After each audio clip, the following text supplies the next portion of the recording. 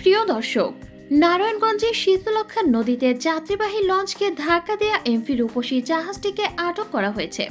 রোববার সন্ধ্যার দিকে মুন্সীগঞ্জের ডকইয়ার্ড থেকে জাহাজটিকে আটক করা হয় বলে জানিয়েছে পুলিশ। দর্শক, পুরো সংবাদটি বিস্তারিত জানতে হলে ভিডিওটি নাটেনে সম্পূর্ণ দেখতে থাকুন। আর আপনি যদি আমাদের চ্যানেলে নতুন হয়ে থাকেন, এখনই সাবস্ক্রাইব করে বেল বাটনটি বাজিয়ে দিন। কারণ দেশ বিদেশের সব রকম খবর এখানেই রয়েছে। রোববার দুপুর দুইটার দিকে যাত্রীবাহী লঞ্চকে ধাক্কা দিলে লঞ্চটি পঞ্চাশ জন যাত্রী সহ ডুবে যায়। এ ঘটনায় এখন পর্যন্ত নারী ও শিশু সহ ছয় জনের লাশ উদ্ধার করা হয়েছে।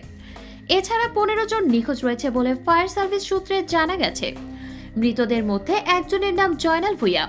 সে মুন্সীগঞ্জ জেলার সদর উপজেলার উত্তর ইসলামপুর এলাকার মৃত জুলফিকার আলীর ছেলে। আর বাকি পাঁচজনের নাম পরিচয় জানা যায়নি। এদিকে এ ঘটনায় ছয় সদস্যের তদন্ত কমিটি গঠন করেছে জেলা প্রশাসন। তদন্ত কমিটিকে আগামীকাল সোমবার তদন্ত প্রতিবেদন জমা দিতে বলা হয়েছে। বন্দর থানার ওসি দীপক চন্দ্র সাহা জানান, রোববার দুপুর দুইটার দিকে নারায়ণগঞ্জ লঞ্চ টার্মিনাল থেকে এম এল আশরাফ উদ্দিন নামে একটি যাত্রীবাহী লঞ্চ প্রায় পঞ্চাশ জন যাত্রী নিয়ে মুন্সীগঞ্জের উদ্দেশ্যে ছেড়ে যায়। সোয়া দুইটার দিকে বন্দরের আলামিন নগরের বাংলা সিমেন্ট ঘাট এলাকায় এলে এমভি রূপসী নয় নামের সিটি গ্রুপের একটি মালবাহী জাহাজ দ্রুত গতিতে অতিক্রম করার সময় যাত্রীবাহী লঞ্চটিকে পেছনের দিক থেকে ধাক্কা দেয়। এতে লঞ্চটি ডুবে যায়।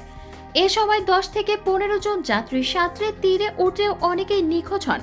লঞ্চটি ডুবে যাওয়ার এক ঘণ্টা পর নদী থেকে দুই যাত্রীর লাশ উদ্ধার করে বন্দর ফায়ার সার্ভিস ও নৌ পুলিশের ডুবুরিরা। এর দেড় ঘণ্টা পর এক শিশু বৃদ্ধের লাশ উদ্ধার করা হয়।